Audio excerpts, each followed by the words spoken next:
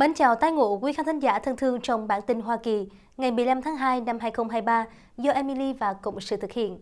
Kính chúc cho tất cả quý vị sẽ có thật nhiều niềm vui, luôn bình an và đầy hạnh phúc. Trở lại bản tin ngày hôm nay, Emily xin gửi tới quý vị những nội dung đáng chú ý như sau. Quân đội Mỹ chi hơn nửa tỷ đô mua đạn pháo cho Ukraine. Chiến lược gia hàng đầu của đảng Dân Chủ bất ngờ phản bội Joe Biden để hậu thuẫn cho Kamala Harris lên làm nữ tổng thống đầu tiên của Hoa Kỳ. Quốc ca của người Mỹ gốc Phi Châu tại Super Bowl làm dấy lên tranh cãi, tâm điểm tập trung vào bà Carrie Lake. Và sau đây là phần thông tin chi tiết. Quý vị thân mến, lục quân Mỹ thông báo đơn vị này trao cho hai tập đoàn vũ khí với tổng số tiền 522 triệu đô để đặt hàng đạn pháo 155mm viện trợ Ukraine. Trong thông cáo vào ngày 14 tháng 2, lục quân Mỹ cho biết đơn đặt hàng được chuyển tới hai công ty vũ khí Northrop Grumman System và Global Military Products. Trong bối cảnh nhiều quan chức của Mỹ và NATO lo ngại Ukraine nhanh chóng rút cạn kho đạn pháo dự trữ từ các đồng minh. Đợt giao hàng dự kiến bắt đầu từ tháng 3 năm nay, nguồn tiền đến từ sáng kiến hỗ trợ an ninh Ukraine của Lầu Năm Góc. Thưa quý vị, Ukraine và Nga sử dụng lượng lớn đạn pháo từ khi chiến sự bùng phát vào cuối tháng 2 năm 2022. Một quan chức của Mỹ vào cuối tháng 11 năm 2022 ước tính Nga bắn khoảng 20.000 viên đạn pháo mỗi ngày, còn Ukraine khai hỏa 4.000 đến 7.000 viên, thấp hơn đối phương, song vẫn nhiều hơn khả năng sản xuất của các công ty vũ khí phương Tây. Tổng thư ký NATO Jens Stoltenberg vào ngày 13 tháng 2 thừa nhận rằng chiến sự tại Ukraine đang tiêu tốn lượng lớn đạn dược và làm cạn kiệt kho dự trữ của đồng minh. Tốc độ tiêu thụ đạn hiện tại của Ukraine cao gấp nhiều lần năng suất hiện tại của chúng tôi. Điều này đặt ngành công nghiệp quốc phòng của chúng tôi vào tình trạng căng thẳng. Các nước thành viên NATO viện trợ hàng tỷ đô vũ khí cho Ukraine kể từ khi chiến sự bắt đầu vào tháng 2 năm 2022. Trong đó, Mỹ dẫn đầu với tổng hỗ trợ hơn 29,3 tỷ đô. Giới chuyên gia phương Tây đánh giá chiến sự Nga và Ukraine đã bước vào giai đoạn tiêu hao, khiến cho các thành viên NATO chật vật để có đủ vũ khí nhằm củng cố năng lực quốc phòng của họ lẫn hỗ trợ Kiev. Không quốc gia thành viên NATO nào ngoài Mỹ có kho vũ khí lớn cho trận đấu pháo quy mô lớn như chiến sự giữa Nga và Ukraine, cũng như không có năng lực công nghiệp đủ để tạo nguồn dự trữ lớn như vậy. Một số chuyên gia cảnh báo, ngay cả khi chiến sự giữa Nga và Ukraine kết thúc sớm, châu Âu cần tới 15 năm để bổ sung kho dự trữ vũ khí với tốc độ như hiện nay. Chiến lược gia hàng đầu của đảng Dân Chủ bất ngờ phản bội Joe Biden để hậu thuẫn cho Kamala Harris lên làm nữ tổng thống đầu tiên của Hoa Kỳ. Kính thưa quý vị, giờ đây, đảng Dân Chủ đang rất chật vật để tìm kiếm một đối thủ xứng tầm và ít nhất là có thể đứng ra tranh luận được với một ứng cử viên nhẹ ký nào đó trong đảng Cộng Hòa, chứ chưa cần đề cập tới Donald Trump. Họ đang quanh quẩn trong những cái tên như là Joe Biden, Pelosi, Gavin Newsom hay là Kamala Harris. Họ nhìn mãi thì vẫn chưa thấy ai. Thế nhưng có một sự thật mà họ đang cố tình công khai cho cả thế giới biết rằng Joe Biden sẽ sớm bị loại khỏi cuộc đua này. Cụ thể, chiến lược gia đảng Dân Chủ Donna Brazili vào ngày 13 tháng 2 cho biết trên chương trình This Week của ABC rằng Phó Tổng thống Kamala Harris sẽ là ứng cử viên Tổng thống của đảng Dân Chủ năm 2024 bởi chúng tôi không còn tin tưởng vào Joe Biden nữa, ít nhất là cho đến thời điểm hiện tại. Brazili nói, tôi rất vui vì chúng tôi đã huấn luyện thành công cho Kamala Harris trong thời gian qua, vì cô ấy có lẽ là một trong những con người rất khó xác định. Nhưng bây giờ cô ấy thật phi thường, cô ấy đang đứng trong sức mạnh của chính mình, cô ấy ở mọi bước đều giúp ích cho Tổng thống Joe Biden và đưa chương trình nghị sự của ông ấy thông qua Quốc hội Hoa Kỳ. Vì vậy, mặc dù số phiếu bầu của cô ấy có thể không phản ánh mức độ nổi tiếng thực sự của cô ấy, thế nhưng tôi có thể đảm bảo với quý vị rằng Kamala Harris sẽ không bị thay thế trên tấm vé của kỳ bầu cử tổng thống năm 2024 này trong đảng Dân Chủ. Tôi cũng có thể đảm bảo với bạn, nếu Joe Biden quyết định không ra tranh cử, thì Kamala Harris sẽ trở thành ứng cử viên tiếp theo của đảng Dân Chủ. Brazili nói thêm, tôi không hiểu tại sao mỗi lần bạn biết đấy có điều gì đó đi xuống, mọi người lại nói, Kamala, Kamala. Cô ấy đang đứng trong sức mạnh của mình. Cô ấy thật phi thường. Cô ấy không thể thiếu trong đội ngũ tranh cử của đảng chúng tôi. Ngay sau đó thì bình luận viên Trish Christie đã hỏi lại bà Brazili, vậy bà sẽ đánh giá như thế nào khi trên thực tế, Kamala Harris dường như vô hình? Nhìn vào lịch trình hàng ngày của bà Phó Tổng thống này, thì hàng triệu dân Mỹ cũng thấy rằng dường như Kamala Harris không có sự kiện công khai nào suốt cả hai năm làm Phó Tổng thống thì chỉ thấy xuất hiện ba lần. Mà mỗi lần khi xuất hiện thì đều nhận được sự la ó hoặc là sự phát ngôn thiếu suy nghĩ của bà ta. Sau đó thì bà Brazili chuột dạ và bào chữa rằng Phó Tổng thống Kamala Harris sắp tới sẽ tổ chức nhiều sự kiện hơn.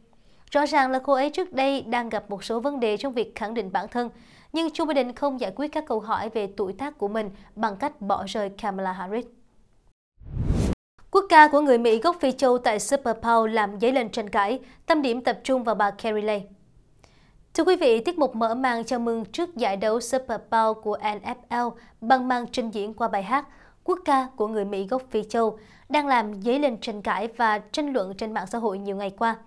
Nữ diễn viên Suri Lee Ralph biểu diễn bài hát Live Every Voice and Sing, được biết đến một cách không chính thức là quốc ca của người Mỹ gốc Phi Châu, trước trận đấu Super Bowl vào ngày 12 tháng 2 tại sân vận động State Farm ở Glendale, Arizona.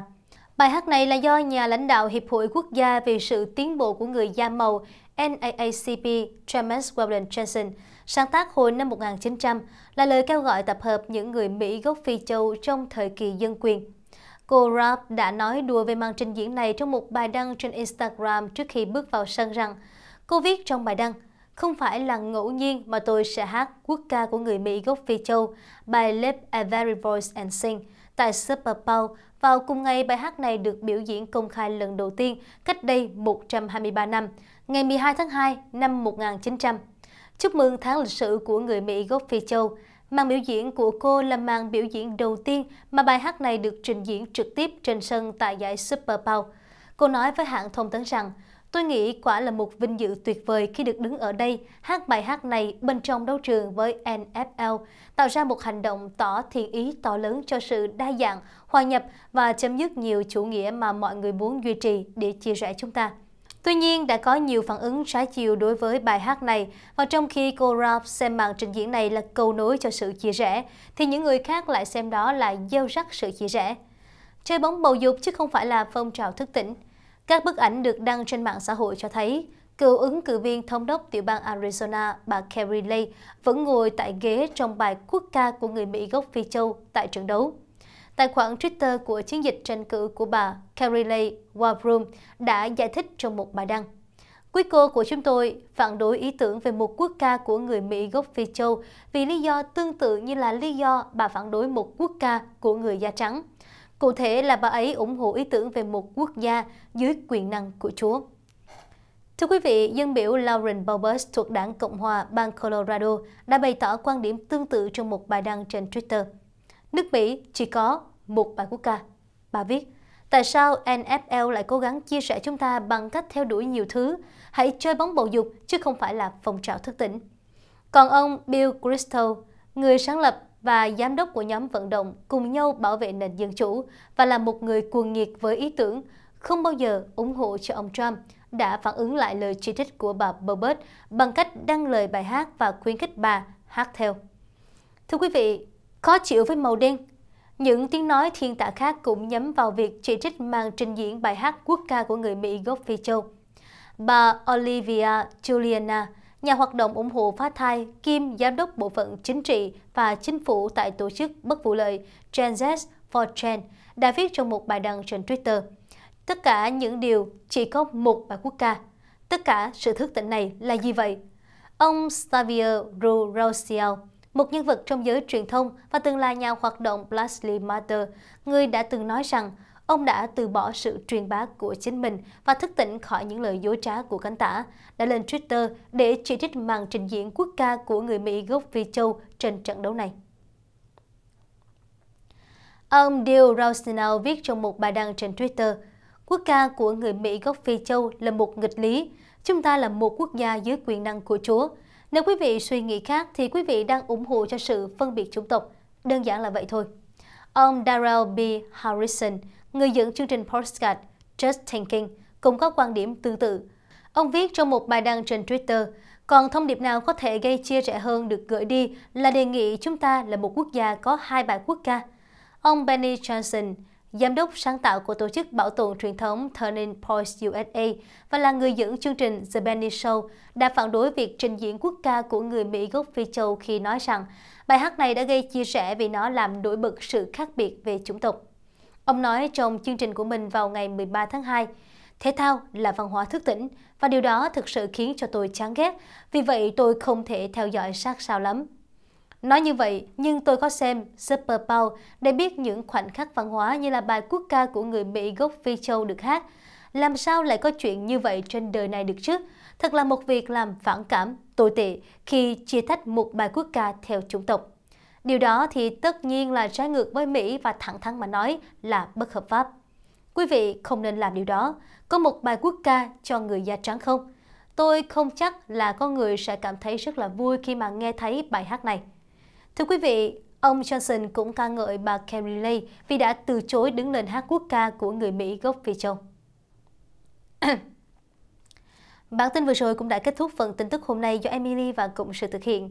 Kính chúc cho tất cả quý khán thính giả có thật nhiều niềm vui, hạnh phúc và bình an. Cảm ơn quý vị luôn quan tâm theo dõi chương trình của Emily. Xin kính chào tạm biệt và hẹn gặp lại quý vị trong những bài bình luận kế tiếp. Quý vị đừng quên bấm đăng ký và bấm biểu tượng hình chuông bên phải để nhận được những bản tin mới nhất.